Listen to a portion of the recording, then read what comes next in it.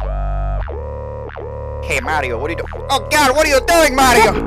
Just give me like a five more minutes, man. Come on. Mario, get off my computer! What do you think I've been trying to do?